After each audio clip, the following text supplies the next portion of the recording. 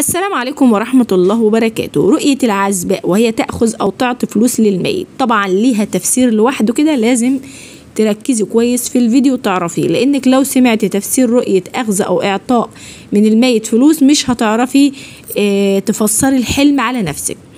طبعا رؤية العزباء آه لو جاء لها الميت وأعطاها الفلوس وطبعا الميت كان مبسوط كان بشوش سواء أنت تعرفيه أو مجهول. فده بيدل على إيه؟ بيدل على الزواج ليكي عن قريب. وخصوصا لو كنت سعيدة جدا جدا في الحلم فده بشرى ليكي بإنك هتتزوجي من تحبي. أو ربما لو أنت في الدراسة فرؤية إن الميت بيعطيك فلوس وهو فرحان فهو زي اللي بيقولك أنا هجازيكي خير على المجهود اللي حضرتك عملتيه في حياتك. من إنك بتحافظي على الصلاة وتقربك لله من إنك آه مثلا هتلاقي الشاب المناسب ليكي آه أو ربما مثلا آه بيحاول إن هو يعبر لك عن سعادته بإنك ناجحة ومجتهدة في حياتك الإخلاقية أو العلمية. طبعا رؤية إن الميت بيعطيكي مال أيضا بيدل على فرصة عمل لمن يبحثون عن العمل.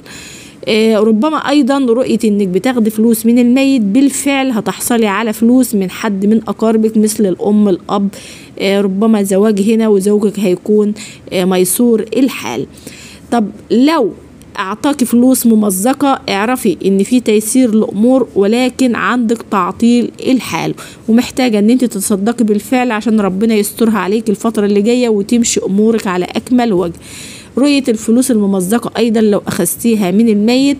اعرف إن هو رزق ولكن الرزق دي في بعض المشاكل في بعض الحسد فاحترسي طب لو الميت هو الذي أخذ منك المال. لو أخذ منك المال وأنت مبسوطة وهو مبسوط اعرف إن في دعوات هتوصل للميت. اعرف إن أنت إنسانة حنونة هتوصلي دعوات للميت بالفعل أو أنت الوحيدة اللي بتتذكري هذا الميت. طبعا لو كان مجهول اعرفي على طول إن في مشاكل ممكن تتعرضي ليها. لو أعطيت الميت بقوة يعني الميت أخذ منك المال بقوة اعرفي على طول بإن في مشاكل أنت هتتعرضي ليها هتجيلك من كل جنب فخرجي صدقة. أه هتختلف هل المال قليل أو هل المال كثير للعزباء لو أخذت أو أعطت للميت؟ طبعا هتختلف. لو أعطيتي للميت فلوس كتيرة كتيرة لا تعد اعرفي إن فيه هموم ومشاكل قد زالت. أما لو الميت أعطاكي فلوس كتير جدا جدا لا تعد ولا تعرفي لها عدد اعرفي للأسف بأن في هموم قادمة إليك أي رؤية تخص رؤية الميت وإعطاء أو أخذ المال منه للعزباء؟ اكتبها لي أسفل التعليقات وما تنساش تعملي اشتراك واعملي لايك وارفعي لي الفيديو.